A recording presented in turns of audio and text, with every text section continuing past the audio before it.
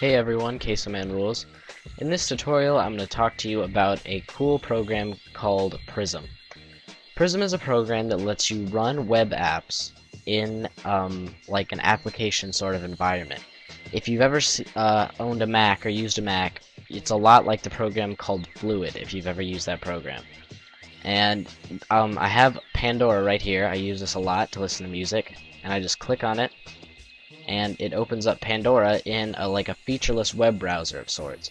And it just opens it up and it looks like an application and it'll just load here and it'll play music just like normal. And uh, this program is available in two different ways. Uh, you can either get it as an add-on for Firefox or by itself. I have the add-on for Firefox since it's my main browser. So this is the page right here, which will be in the description. All you have to do is click Add to Firefox,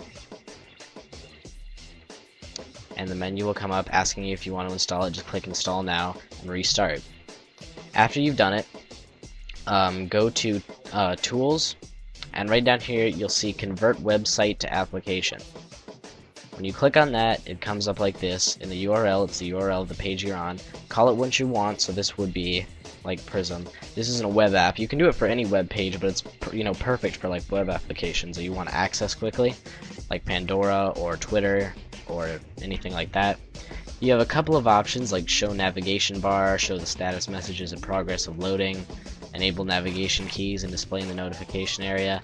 I like to keep those off because it looks more like an application that way. Here's where you can choose where uh, you want it to be open from. You can either choose desktop, start menu, or quick launch. I just have it in the quick launch because I can just access it really quickly there, so I would just click that. You can choose the um, icon you want. It can either be the fav the fave icon from the website, or you can choose your own image and just click OK. And as you can see right here, it opened, and if I click on it, it'll load up load the page right here. So it's a very, very cool add-on, very, very simple, and it helps you just get everyday tasks done really easily. Um, and it keeps you entertained is really useful. Thank you for watching this video tutorial by Quesomanrulz. Don't forget to subscribe and visit my website and follow me on Twitter. Thanks a lot guys. Bye.